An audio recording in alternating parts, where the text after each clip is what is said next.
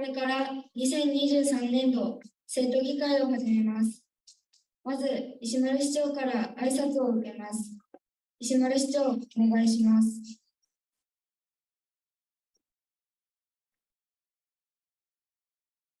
市長の石丸真二です。今日はわざわざ市役所にお越しくださいまして誠にありがとうございます。今日この時間をとても楽しみにしていました。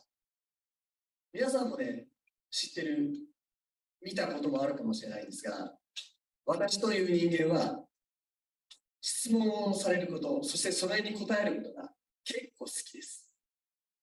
ね、議会、議員の方から質問にね、こう一生懸命答えるんですけど、今日どうしましょう？あの調子でいきます。ね、相手が中学生だろうと容赦しない感じで、言ってます？せっかくなんで。今日は私も、こっちに座ってる執行部のメンバーも、みんな本気でいつも通りしっかり答弁をしたいと思います。なので、皆さんも最初の質問だけではなくて、その後に何か気になることがあったら、ぜひ遠慮なく思ったままを聞いてみてください。ここは今回、議場ではないので、必要なやり取りの形は決めてますが、そんなに難しく考えなくて大丈夫です。私の方もできる限り、ゆるい形で話をして、そして質問に答えたり、もしかすると、本当の議場ではないんですが、こっちからどう思うんですか？というのを何人かに聞いてみたりもしたいかなと思います。じゃあ、1時間ですか？1時間、しっかり楽しみましょう。1時間半か。はい、1時間半ありますね。しっかり楽しみましょう。どうぞよろしくお願いします。ペーパーですか、先ほどの自分が質あのロングブックでプリントを配信するというところなんですけど、これはいつぐらいなら、まあ、このプリント配信配信するだけで大丈夫？それはいつぐらいならいいですか具体的な数字運動を今申し上げることはできませんが、できるだけ早く取り組みの方向に、えー、向けていきたいとは思います。ただ、先ほど言ったようにですね、さまざまクリアしなければいけない課題がありますので、申し訳ないです。何年度からという具体的な年数は今ここでちょっと申し上げるのは難しいです。石丸市長、お願いします。はい。このペーパーレス化については、何よりも現場の先生方の協力が必要です。先生に頑張ってもらわないといけない。ただ、現場の先生が頑張りにくくなってるという大きな問題があります。要は、やることがいっぱいありすぎて、忙しくて、なかなか新しいことを始められなくなっている。これがしだけではなくて、日本全国の協力における課題、問題点です。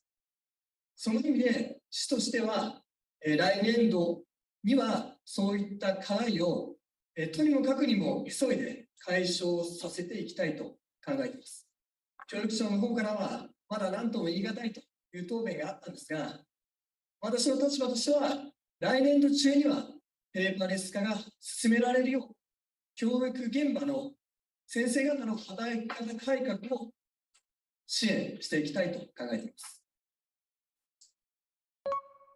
先日の中国新聞において、石丸市長が就任時に掲げた選挙再建に関して、こう達成したと見解を示したという記事が掲載されていました。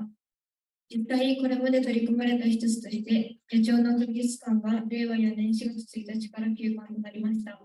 本校では文化部が美術館を訪問し、実際に飾られている絵を鑑賞することで本物に触れ、また7月に行う職場体験学習で5日間お世話になっていました。私たち八千代町に住む者として、この美術館が休館になったことは非常に残念に思います。そこでこの八千代の美術館について質問をします。この八千代の美術館は現在休館中ですが、今後再開する予定はありますか？ただいまの質問に対し、石丸市長、答弁をお願いします。まず認識を少し整理させていただくと、先日の答弁で、えー、議会の答弁で、政治再建が完了したというふうには確かに話をします。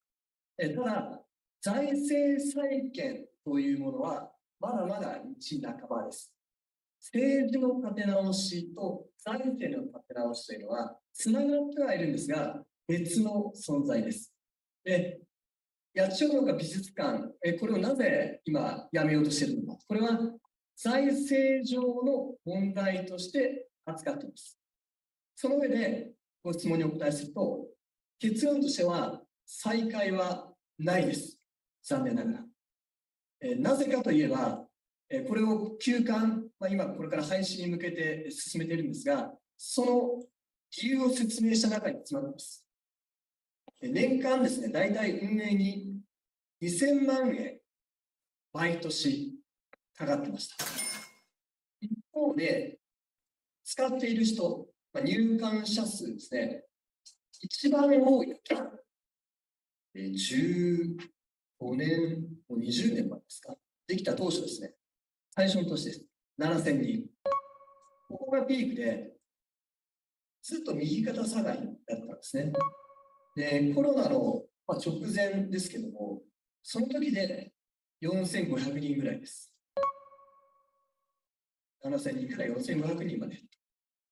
一方で、毎年2000万は必要にずっとなっています。2000万円を4500人、まあ、4000人ぐらいで割ったら、1人当たり5000円、4000、5000円もらっている状態です。美術館に行くと、非常に安い料金。有料でしたっけ？無料？美術館。無料でした有料です。有料ですね。はい。ただ、十分にその費用を賄う金額には設定してありませんでした。なので、一般人にとっては、すごくいいものが、まあ、5000円相当のものが数百円で見えるという非常にお得なサービスではあったんですが、先ほど、くしくも、牧原さん、牧原さんがお話になったところに潜んでるんですが、八千代町の人にとっては、それはとても大きな存在だったかもしれないんですが、他の町の人はなかなか縁がなかったと。なので、高田市の市長という立場で全体のことを考えました。全体最適というものです。その考えに基づいて、八千代町のためだけに2000万円を使い続けることはできないと判断し、やめました。そしてその状況は変わっていません。これからも変わらないです。なので、再開はないというふうに考えています。先ほど運営に2000万円ほどかかっているとおっしゃったのですが、年間どのくらいの維持費がかかっていますか？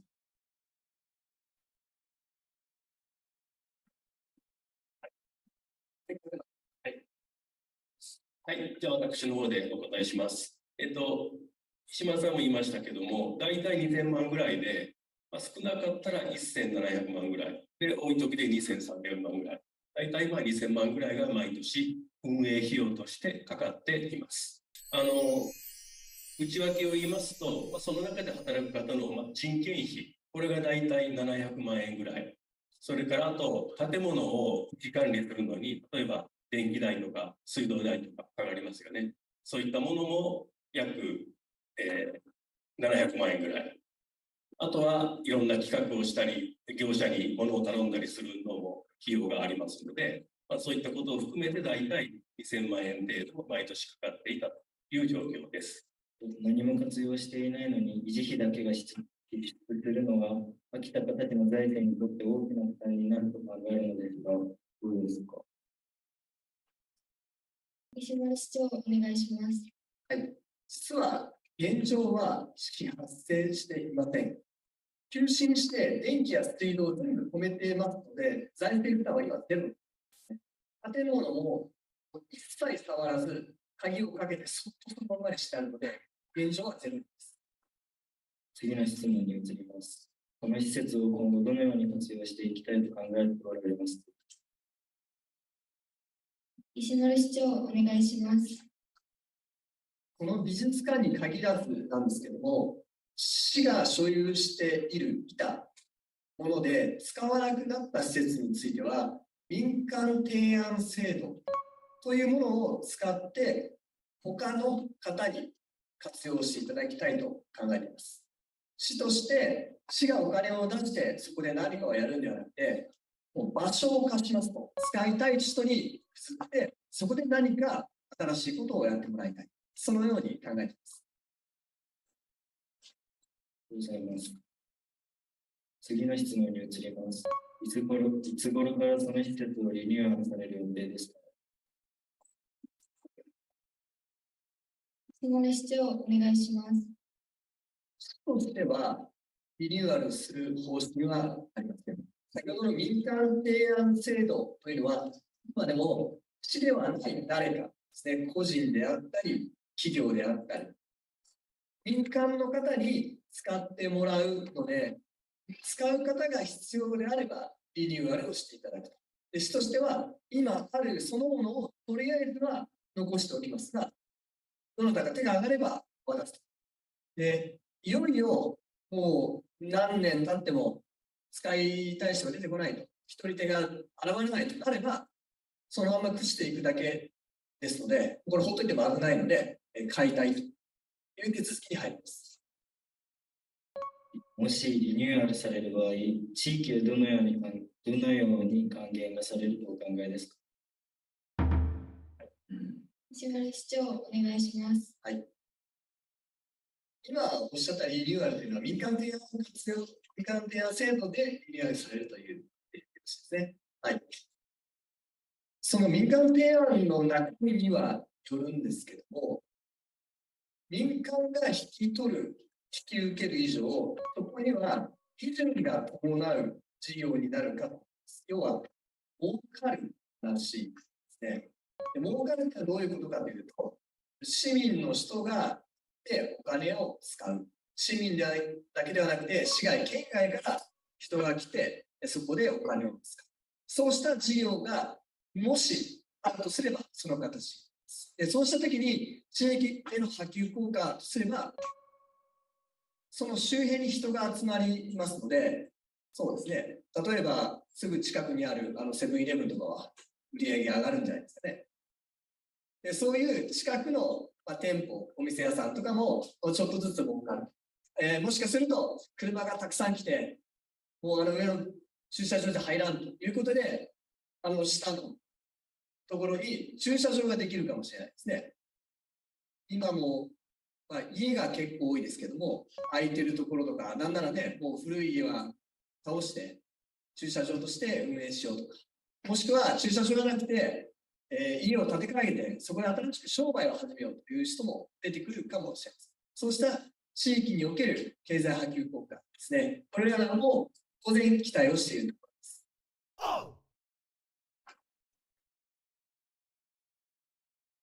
八千代農家美術館は橋ダムにも距離的にも近いので、この橋ダム周辺の環境を生かして、秋田方市だからこそできることを考えてみてはどうでしょうか。例えば、最近では全国的にもサイクリングが流行していて、休日に橋ダム周辺を走っている人もよく見かけます。そして、橋ダム周辺の道路を整備すれば何か大会ができるかもしれません。そして美術館の建物をサイクリングのためのサポートセンターなどに活用してみてはどうでしょうか？石丸市長、お願いします。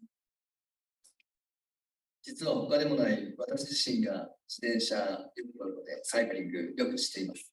ロードバイクというやつですね。でそれで橋ダムもよく走っています。私のためではないんですけど、実はあの、湖畔ですね、ダムの周辺、あの少し道路もあの丁寧に直してあります。ただ、それだけでは集客力にはあまりなってません。これまで来てた人が、まあ、心地よく楽しく使ってもらってるんですけども、わざわざ良くなったから人が来るにはいた。その意味で、今お話しくださったように、もっとあそこに投資をして、あそこの魅力を高めて、市の集客施設にする案はあると思います。ただ、投資というのは、皆様知ってる通り、お金を使うことです。市は残念ながら今、お金がなくて困っています。その投資がより大きな収益を生む、そのようなところまで見通せれば、当初もまたやりやすいですが、残念ながら、割合簡単な収支の計算ですが、この町はできない状態です。吉田町にある道の駅、ここを改修しようと、テナントに有名な企業を入れようと、そんな簡単な決断さえ誤ってしまうのが市の現状ですので、今の状態では、え到底、到底、叶わない、え儚い夢なのかなと思っています。ありがとうございます。と、お金を使わずに集客を活性化させるために、市長はどのような対策をしていきたいと考えておられますか？石丸市長、お願いします。お金をかけずに集客をするなんてことができたら幸せですね。残念ながら、おそらく私が知る限り、その例はないんです。先ほど投資という言葉をわざわざ使ったのがその理由です。お金ってすごく大事なんですね。でコンビニに行っておにぎり買う、それにとどまらないんです。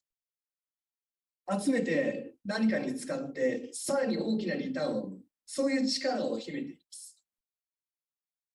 で、それがないところから魅力を生み出すというのは、あの、錬金術ってわかりますか、ね、あの、無から有を生み出す。そういう本当魔法のような話なので、基本的にそれはないというふうに認識しておいた方がいいのかなと。ありがとうございます。これで本校からの質問を終わります。それでは、八千代美術館の今後の活用について、他の学校から意見や提案があればお願いします。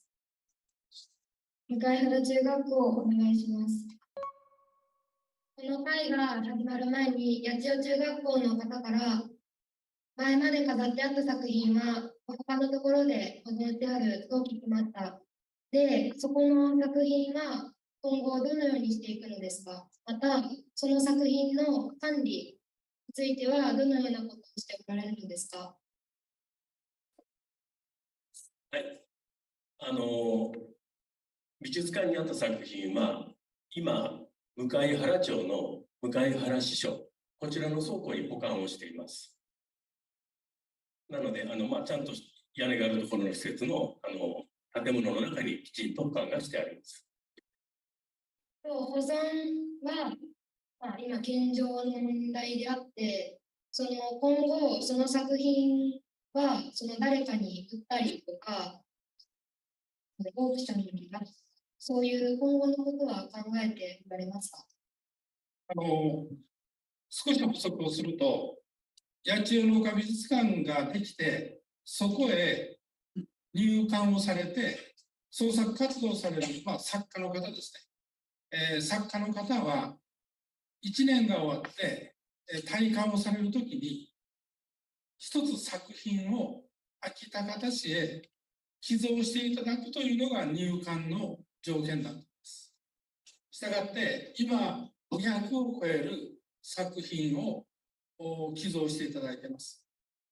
ただし、これからその寄贈していた作品をどのように有効活用していくかということにはついては、今後の検討課題ということで今考えております。